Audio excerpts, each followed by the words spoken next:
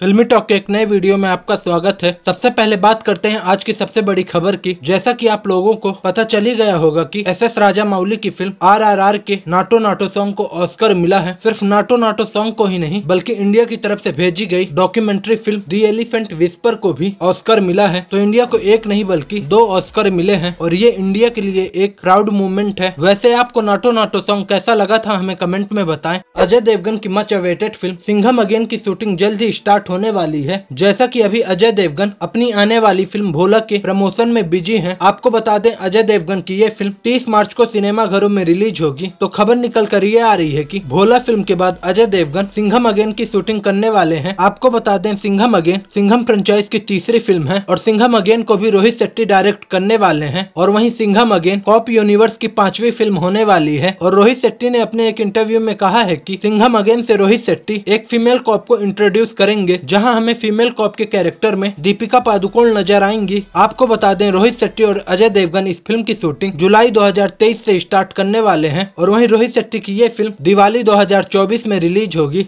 जय कांचिक रे आली रे आली तुझे भारी आली।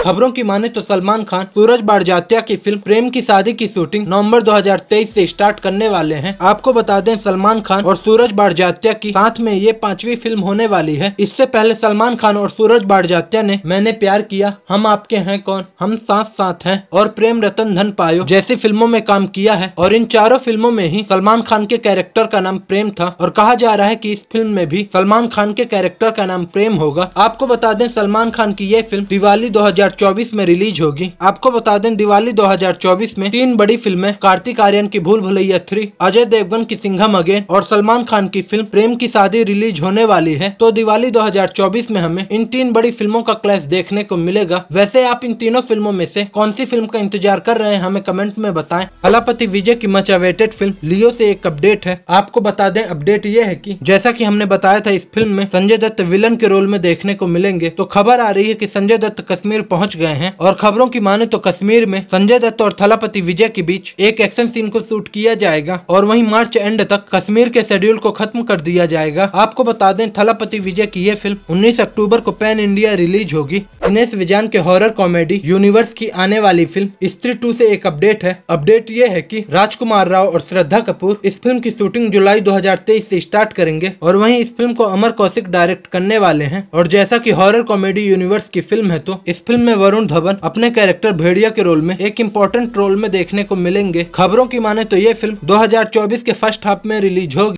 बात करें बॉक्स ऑफ़िस कलेक्शन की तो रणवीर कपूर की फ़िल्म तू झूठी मैं मक्कार ने रविवार को इंडियन बॉक्स ऑफ़िस पर 17 करोड़ 8 लाख रुपए का कलेक्शन किया है और इसी के साथ रणवीर कपूर की इस फ़िल्म ने अब तक इंडियन बॉक्स ऑफ़िस पर 70 करोड़ 24 लाख रुपए का कलेक्शन किया है। आपको क्या लगता है रणवीर कपूर की फ़िल्म तू झूठी मैं मक्कार का लाइफ टाइम कलेक्शन कितना होगा? हमें कमेंट में बताएँ। और अगर आपने रणवीर कपूर की इस फ़िल्म को देख लिया है तो आपको ये फ़िल्म कैसी लगी? हमें कमेंट में बताएँ। अगर आपको वीडियो अच्छा लगा हो तो वीडियो को लाइक करें, अपने दोस्तों के साथ शेयर करें और हमारे चैनल को सब्सक्राइब करना ना भूलें। धन्यवाद।